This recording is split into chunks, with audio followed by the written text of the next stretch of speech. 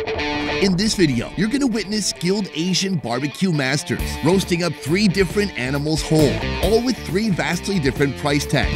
Oh my Oh god. my this god. is amazing. Oh my god. Saigon or Ho Chi Minh is a city of nearly 9 million people, meaning a near endless variety of restaurants to choose from. All this selection can get a little overwhelming. Why is he so focused? So today, I brought Calvin and Twin to join me. We'll be revealing this city's most impressive roasted meats, from the very affordable I just got a really crunchy bite. Mm. What's the anus? to the shockingly expensive. Three, two, one. It all starts here. Calvin, Funny. twin. Hello. All three of us are here. I know. Today, we're gonna be trying an onslaught of animals roasted whole, mm. starting with this right here. This is a chupacabra. Twin, any guesses? It's a rabbit. It's a rabbit. It's not uncommon to spot street side rotisseries all over the city. Usually, you'll find either chicken or pork, but today we've discovered something a little bit different whole roasted rabbits.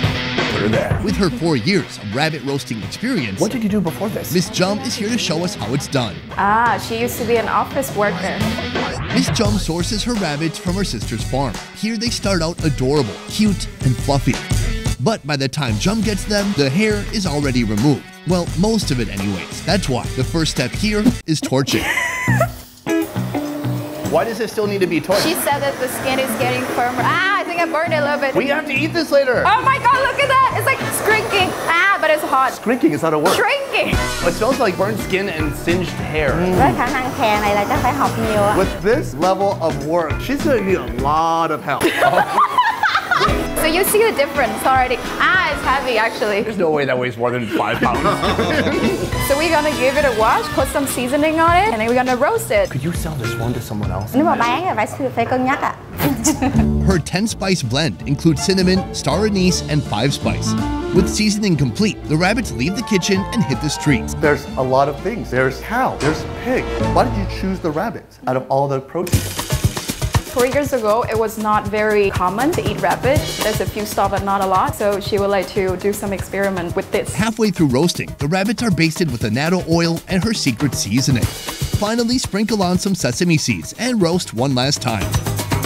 Boom! Right here, our first meal. Twin, how you doing in the middle? You getting smashed? That's the most uncomfortable thing ever. Right here we have the rabbit. This part. Mm. Should we start with this? I have a quick story before you start. Okay, good.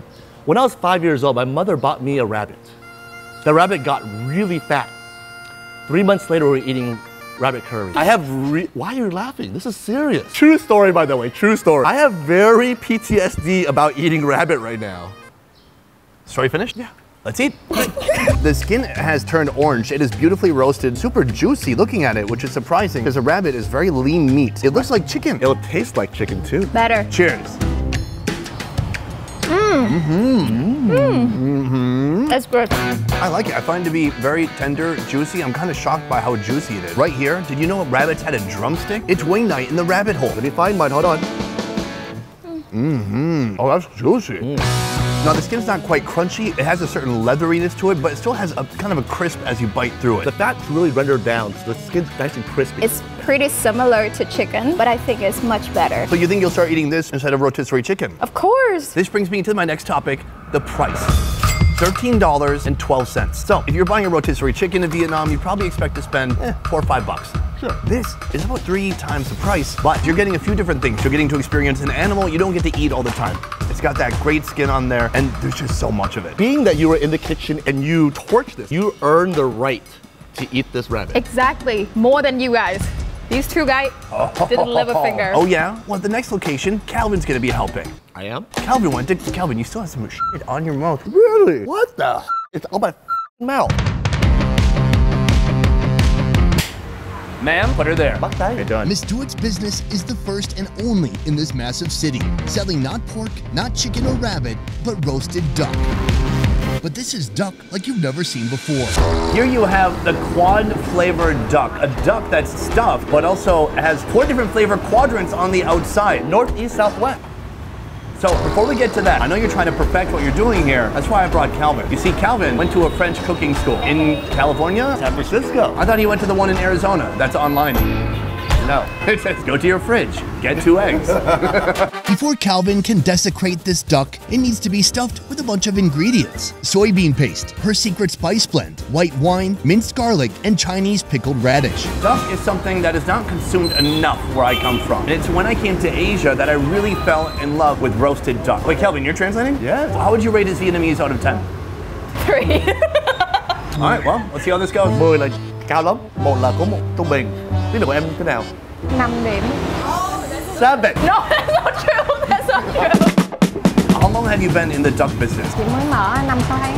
Oh, eight months. Oh, wow. What have some of the challenges been since you're kind of a newer place? As any small business owner, one of the challenges is the marketing to get the message out there for the consumers. But slowly, she's going to get out there. Next, they inflate the duck like a portable mattress, separating the skin from the muscle, allowing the skin to crisp up even more during the roasting process.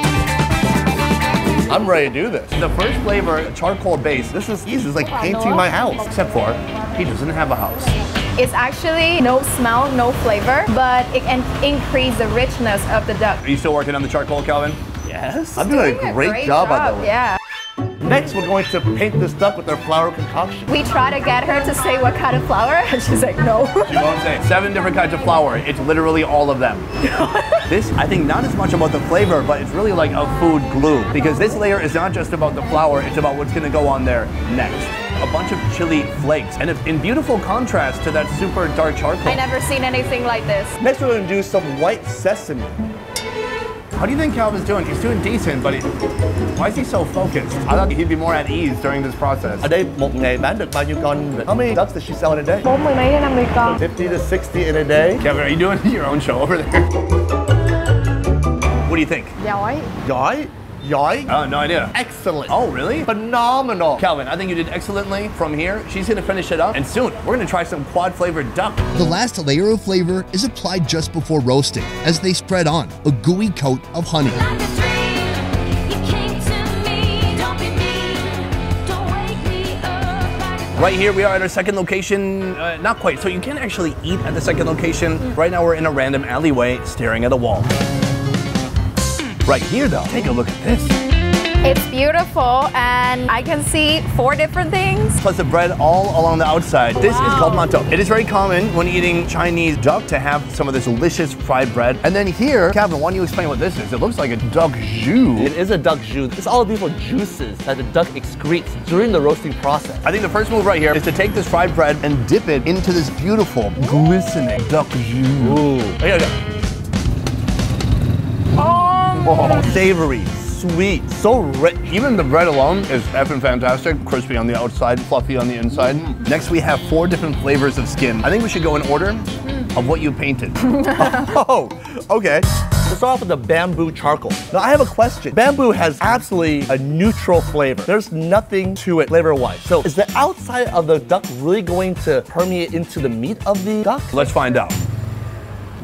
Oh, oh. delicious, tender, juicy. Mm. The meat is so moist. But crunchy on the outside. Mm. I wonder if the charcoal has affected how crispy it is. I can't tell if it's more or less rich, although it is very rich. Mm. Next up, we have the one that's coated with the chili flakes. Oh, Oh, that's spicy. oh, it's spicy. You feel it? Yeah, Not- Well, keep chewing, buddy. I will. Um, oh, Sonny? I'm not good at. This one is more malleable and flexible, not really so crunchy, but it has a nice coarse texture on the outside, and you just feel a little bit of that fiery blaze while you eat it. Oh, fiery blaze indeed. Next, sesame. Mm-hmm. Completely new experience. It's nutty, but it has like a really nice stiff crunch to it. Your words are good today. Finally, we move to our last flavor, the glorious honey glazed duck. Oh, it's beautiful. Shall we? Cheers. Oh. Mm-hmm. I'm gonna say that's delicious. If you've never had duck, it's really hard to describe. And although it's a bird, it's not like chicken. It has a very gamey flavor to it. This is the first time that I have like on one duck, but four different things. They are surprisingly different. Every bite is a new adventure. It takes you down a new path. It's a roadmap of flavor, and there's no wrong direction. no, but it all leads to the Thunderdome. Not Transcell. This one coming in not that much more than the rabbit. Now, this is even more protein, but beyond that, it's more to experience. There's so many different flavors. There's bread, and then there's all the delicious duck jus from the inside. Twin, final thoughts? Wow. Great contribution. all right, guys. We've come to a brand new location. Here, they're kicking out some real special flavors and things you have never seen before. I guarantee it. Really? We've seen a lot. How about this? A table. It, no, there's a pig. Do you see that this is a pig? I don't know if we can put this part on YouTube, but look at the rest of the pig. Oh, hey, look at Piggy. Here, they're making whole suckling pig. Mm. Now, what does suckling mean? That's great. I went to culinary school. A suckling pig is the age of the pig. This pig is only maybe 30 to 45 days old. That's when they get slaughtered and we eat it. Chef Cường has 20 years experience in Chinese cuisine. He now spends time perfecting his recipes at Tung Garden as the barbecue head chef. So together with the bones is 3 kilogram, but without it, then only 1.5 kilogram. What? Wait, so you remove the bones from this pig? Yeah, like all of it. The deboned piglet is cleaned in boiling water, then torched to remove any remaining hair.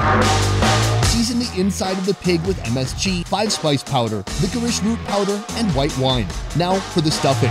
In a wok, stir fry Chinese sausage, shiitake mushroom, sticky rice, and oyster sauce.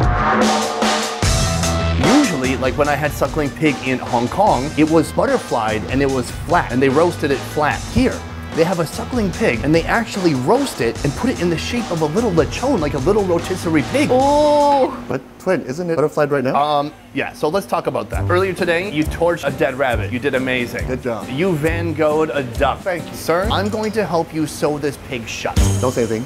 Let them discuss. I don't want your help.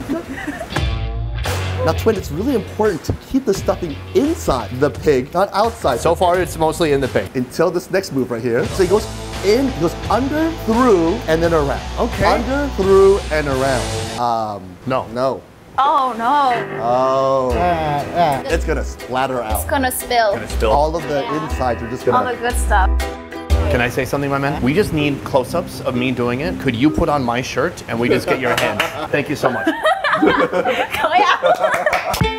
I've asked Calvin and Twin to leave so I can be alone with my masterpiece, carefully sewing it shut inch by inch until the stomach is perfectly secured. I must say, I'm quite proud of my work here. Next, I apply a shiny layer of barley malt syrup and vinegar. Now it's ready for the roasting machine. and queens of the castle. After roasting is complete, the chef tags in once more, unwiring the pig, then dousing it in hot oil before sending it out the door. This is a recipe that goes back potentially months or even years. It is traditional to this restaurant. Of course. Looks horrified.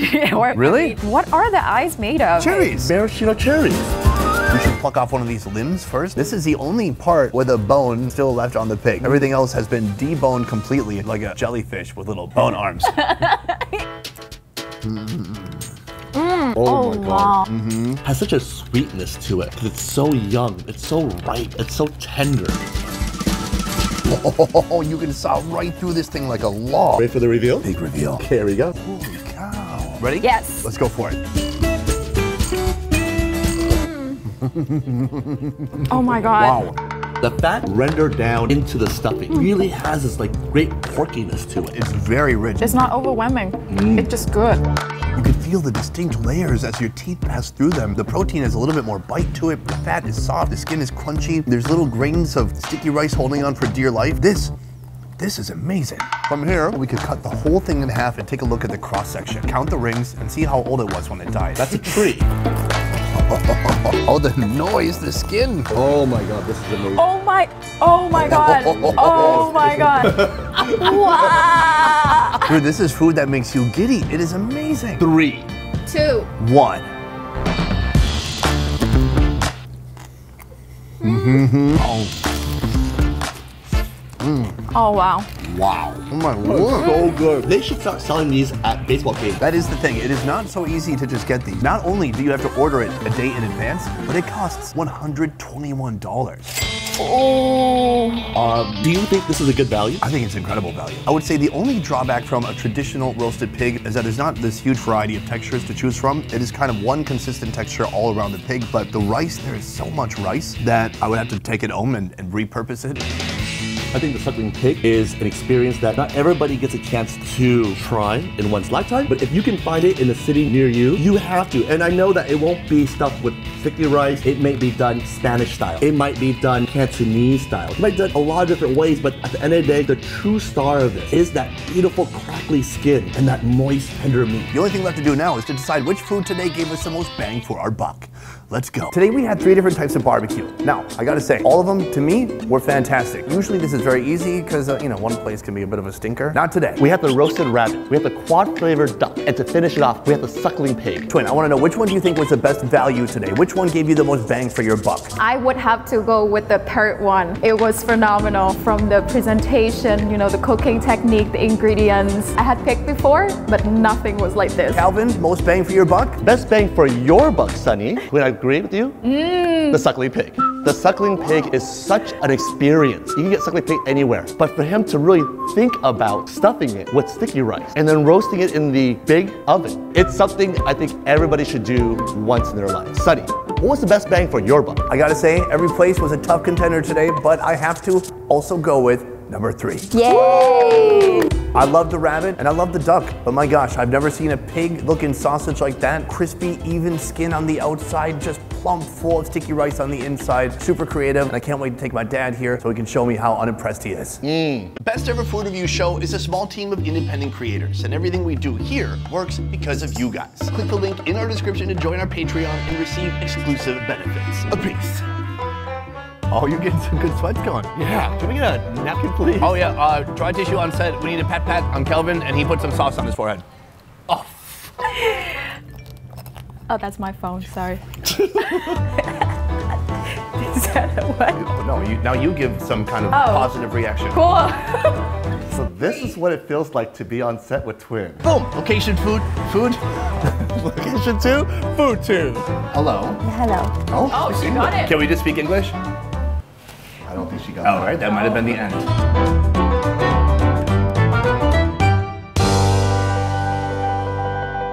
Guys, I want to say a huge thank you to both Twin and Calvin for joining me today. First of all, Twin. Twin, you can find her right here on Instagram. Send her pictures, whatever kind What? of pictures you want. no pictures. then we have Calvin. Calvin over here, FKN Deliciousness. Boom. Instagram and YouTube. You can send him messages on Instagram, but please be kind and be gentlemen when you message Calvin. Why would there be gentlemen messaging me? Otherwise, guys, that is it for this one. Thank you so much for watching. I will see you next time. Triple peace.